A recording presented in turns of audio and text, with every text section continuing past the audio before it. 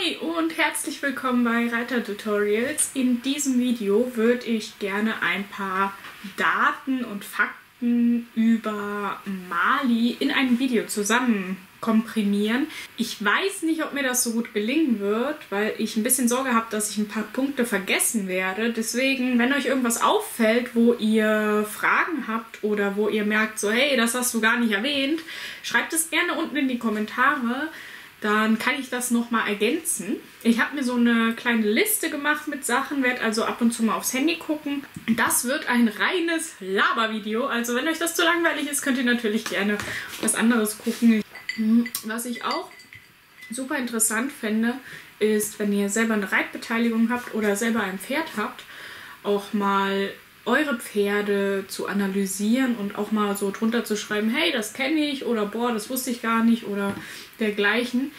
Ich lese mir das nämlich super gerne durch und schaue mir auch gerne Vergleiche an, weil ich das super interessant finde. Also ich werde das so in zwei Punkte gliedern. Einmal in das Interieur und einmal in das Exterieur. Also Exterieur heißt so viel wie das Aussehen und die Anatomie des Pferdes und das Interieur spricht eher den Charakter an. Oh, ich könnte mein Handy mal auf leise machen, wa? Und jetzt kommt noch eine Sprachnachricht rein, sehr gut. Ich freue mich. Ja, sehr cool. Ähm, die Sandra wollte mich so um 14 Uhr abholen und dann mit hochnehmen. Das war so der grobe Plan, wobei ich Sandra nicht ganz verstanden habe, weil sie auf einmal spontan auflegen musste. ähm, das heißt, also potenziell nimmt sie mich mit, wenn sich da nochmal was dran ändert, weil Sandra halt Sandra ist, dann würde ich dir nochmal schreiben und dann sehen wir uns im Stall. Ich hätte auch total Lust, ein bisschen Blödsinn-Parcours aufzubauen, so Pylonen und Stangen. Hätte ich richtig Bock drauf, gefällt mir die Idee. Bis später! Oh, ja, cool, dann freue ich mich auch. Ich kann dich auch mitnehmen. Wir wohnen ja quasi fast nebeneinander. Also schreib mir einfach, wenn du los willst, dann sammle ich dich ein. Kannst auch, wie, wie du willst. Also kannst du selber entscheiden, aber irgendwie kriegen wir dich in den Stall. Bis später. Ich wollte noch kurz das Video drehen und danach gehen wir in den Stall, zusammen in die Halle. Das wird cool. Wir hatten jetzt sehr viele Tage, sehr, sehr schönes Wetter, was an sich super schön war, aber oh mein Gott, die Wiesen sind gar nicht gewachsen. Wir hatten schon Sorge, dass wir zu wenig Heu haben dieses Jahr. Wir machen ja alles selber, wir sind Selbstversorger und ähm, ja, die Heugeschichte ist jedes Jahr spannend. Äh, auf jeden Fall hat es gestern und heute tatsächlich geregnet und das freut uns riesig, aber deswegen gehen wir auch in die Halle. Langweilig, aber muss auch mal sein. Ich muss von vornherein sagen, Mali ist ein Straßenköter-Pony. Dieses Pferd hat keine offizielle Abstammung, dieses Pferd hat keine offiziellen Papiere und dementsprechend werdet ihr hier keine super krassen Namen oder sowas sehen. Wenn euch das zu langweilig ist, guckt es euch einfach nicht an. Also, beginnen wir mit dem Aussehen. Ich gucke gerade, ich habe eine ein Bild am Kühlschrank hängen. Kennt ihr die Pferdewaage? Das ist richtig cool. Das ist eine ähm, Firma, kann man das so sagen? Ja, eine Firma, die in ganz Deutschland rumtourt und die haben immer eine Waage dabei, wo man sein Pferd wiegen kann. Das kann ich euch mal holen. Die Pferdewaage war am 14.08.2019 bei uns und ich würde das Kärtchen einfach für das Exterieur benutzen. Das ähm, bietet sich dafür ganz gut an. Und zwar kann ich das euch einmal hier zeigen. Das ist der Mali. Sein richtiger Name ist Malfurion. Mali ist zurzeit 1 Meter 53 groß und wiegt stattliche 522 Kilo. Wann genau er geboren ist, weiß ich nicht, weil als ich ihn gekauft habe, hatte er weder Papiere noch Chip noch sonst irgendwas. Wir vermuten, dass er, also wir haben uns die Zähne angeguckt, auch extra vom Tierarzt angucken lassen, wir vermuten, dass er 2011 geboren ist.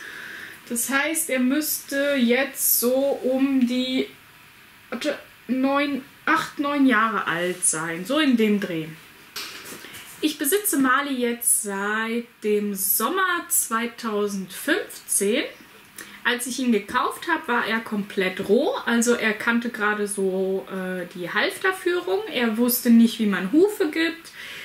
Den Sattel kannte er auch noch nicht richtig. Also wir haben quasi von null komplett angefangen. Habe ich auch einige Videos zu auf meinem Kanal. Da könnt ihr gerne mal drauf gucken, wenn euch die alten Zeiten interessieren. 2015 ist ja jetzt schon ein Weilchen her. Ich habe Mali im Sommer 2015 gekauft und das war mein erstes eigenes Pferd, was ich auch komplett selber ausgebildet habe. Ähm, ich persönlich habe mir das zugetraut, weil ich vorher halt auch schon im Pferdebetrieben gearbeitet habe und auch schon mit Trainern zusammengearbeitet habe und auch sehr viel mit Natural Horsemanship gearbeitet habe. Deswegen habe ich mir das auch zugetraut, das selber zu machen. Es ist aber immer von Person zu Person unterschiedlich, ob man das machen sollte. Ich wusste, dass das sehr viel Arbeit ist, aber ich wollte das gerne als ja, als Lebensprojekt ich wusste, dass ich nicht wie andere Leute jetzt direkt loslegen kann und losreiten kann, sondern dass alles nach und nach und nach und nach und nach über die Jahre aufgebaut wird. Deswegen war das für mich klar. Aber ich würde es nicht jedem empfehlen, weil es sehr, sehr, sehr viel Arbeit ist und man sehr viel Geld reinstecken muss. Allein die Unterhaltung von einem Pferd, obwohl man es nicht reiten kann, ist für manche Leute ein bisschen schwierig. Ich habe damit kein Problem. Ich habe zum Beispiel das allererste Jahr, also vom Sommer 2015 bis zum Sommer 2016, nur Bodenarbeit gemacht. Ich bin mit dem Pferd nicht geritten. Ich habe wirklich nur erstmal die Basics gemacht, die Körpersprache miteinander kommuniziert und so weiter und so fort. Und da haben viele Leute noch nicht mal die Geduld für, was ich auch verstehen kann. Also das Leben ist stressig, wir sind in einer schnellen Zeit angekommen, die Leute müssen Geld verdienen, die Leute müssen arbeiten. Und wenn sie dann noch in ihrer Freizeit quasi nur Arbeiten machen müssen, die sehr viel Geduld erfordern, kann ich verstehen, dass es nicht jeder machen will. Die Frau, von dem ich den Mali gekauft habe, meinte zu mir, dass er ein Lusitano ist, beziehungsweise ein Lusitano ähm, gepaart mit Paint. Also müsste in der Fachsprache nennt man das ein Corsado. Also ein Corsado ist ein nicht reinrassiger Lusitano. Ich habe mir diese Rasse ausgesucht, weil ich die Rasse optisch sehr schön finde und weil sie halt auch einfach so ein bisschen mehr keck haben. Also Lusitanos sind, sind eher temperamentvoll, sind eher fragend, hier noch eine kurze Anekdote, wie ich eigentlich an Mali drangekommen bin. Denn eigentlich heißt es ja, soll man sich auf gar keinen Fall ein junges Pferd als allererstes Pferd kaufen, was mir aber auch so ging. Also bei mir war es so, dass ich kein Pferd kaufen wollte, sondern ich wollte ursprünglich ein 21-jähriges Pferd übernehmen. Das wäre dann mein allererstes eigenes Pferd geworden. Und wir haben auch schon alles vorbereitet gehabt. Ich habe einen Schutzvertrag gemacht. Ich habe extra einen Stall schon quasi angemietet gehabt. Ich habe äh, die Versicherung abgeklärt und so weiter und so fort. Habe meine Familie hinterfragt, ob das in Ordnung ist, wenn ich mir in so jungen Jahren ein Pferd kaufe, weil es ist nun mal finanziell ein Einbruch. Und dann war alles abgeklärt, alles war in trockenen Tüchern und dann kam aber die Situation, dass der Besitzer gesagt hat, nee, ich möchte das nicht, also ich möchte mein Pferd wieder zu mir holen. Und dann stand ich halt da, hab wirklich monatelang vorbereitet gemacht und getan, um wirklich zu versuchen, das Richtige zu tun, damit man halt eben nicht diese Fehler macht, einfach mal ein Pferd zu kaufen. Ja, und dann stand ich da und war aber so weit in der Planung, dass ich mir dachte, nee, jetzt will ich aber ein Pferd haben.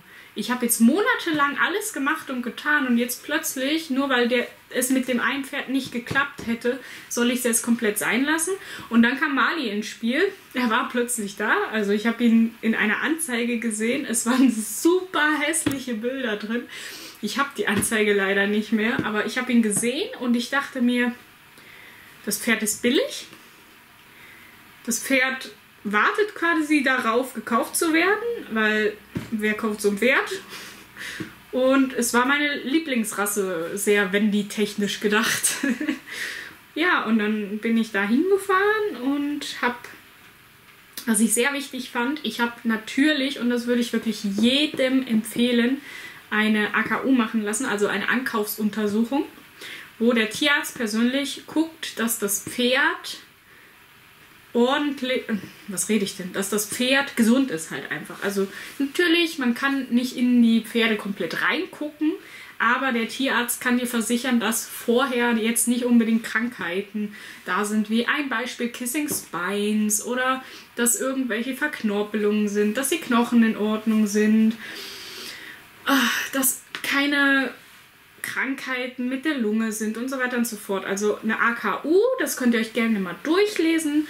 Äh, wenn ihr das googelt, was da so gemacht wird, würde ich auch jedem empfehlen, auch wenn es ein paar Euro sind, die man da auf dem Tisch legt. Glaubt mir, diese Euros, die ihr da auf den Tisch legt, sind günstiger, als wenn ihr später die Tierarztkosten habt. War auch sehr witzig, dadurch, dass er noch roh war und auch nicht wusste, was Longieren ist, hatte Mali dann, als ich ihn gekauft hatte, ähm, ziemlich Angst vor der Longe, weil er für die AKU halt longiert werden musste, weil die müssen einen Atm Atmungstest machen und den hat er dann halt ja auch über sich ergehen lassen und war danach ein bisschen traumatisiert. Sorry Mali dafür. Aber heute lässt er sich ja frei longieren, also scheint sein Trauma vorbei zu sein.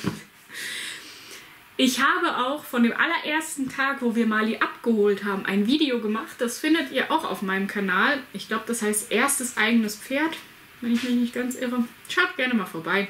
Er ist ein Palomino. Ein Palomino ist von der Gentechnik her eigentlich ein Fuchs, der aber einen Gendefekt hat und dementsprechend eine andere Farbe entwickelt hat.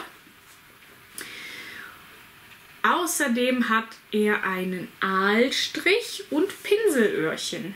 Das finde ich total süß. Das haben viele Urpferde. Zum Beispiel Dülmener Ponys haben das auch.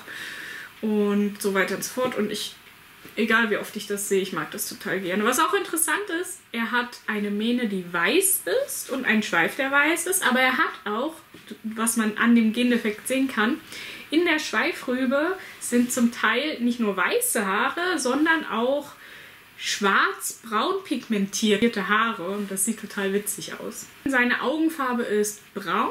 Er hat diese typischen iberischen Augen, die ich sehr schön finde. Die sind meistens noch schwarz umrandet und hat einen sehr schönen Blick.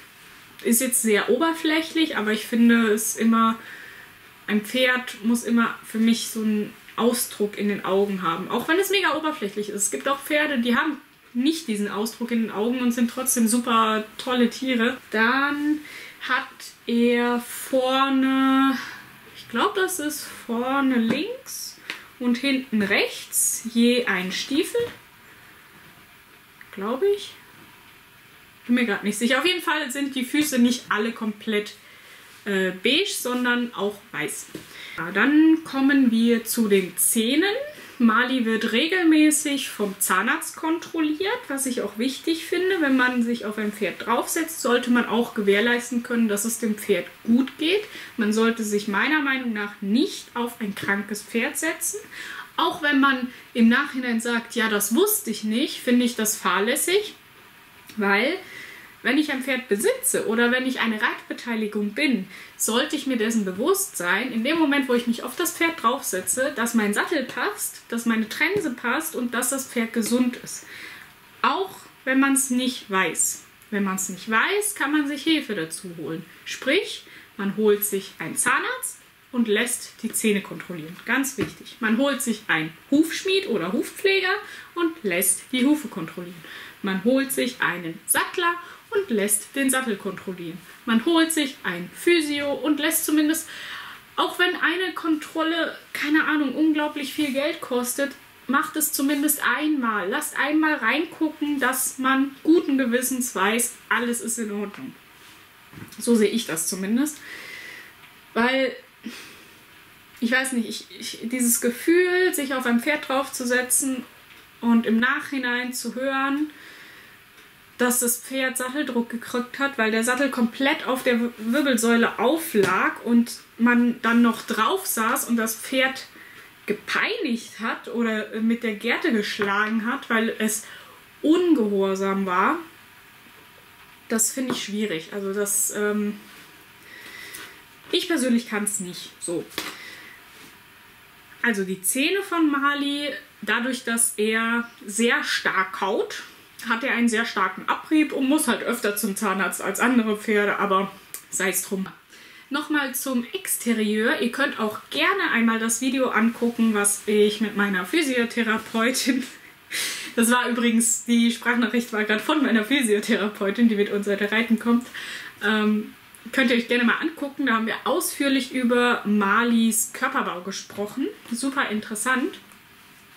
Auch da werden die Dinge thematisiert, wo er Probleme hat, wie zum Beispiel Mali hat eine sehr steile Schulter. Das heißt, ihr kennt bestimmt diese Bilder von diesen Pferden, die die Beine so hoch heben können. Das kann er nicht.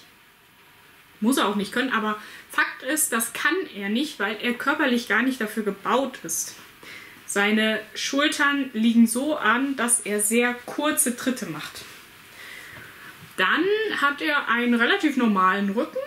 Er ist an sich toi toi toi und da habe ich richtig Glück. Top gesund. Er hat keine Verspannungen, er hat keine schräg liegenden Wirbel oder sonst irgendwas. Er hat, ähm, ja, was hat er noch? Das Einzige, wo er wirklich Probleme hat, exterieurtechnisch, sind seine Hufe. Die sind für den Alltag, den wir haben, leider nicht stark genug.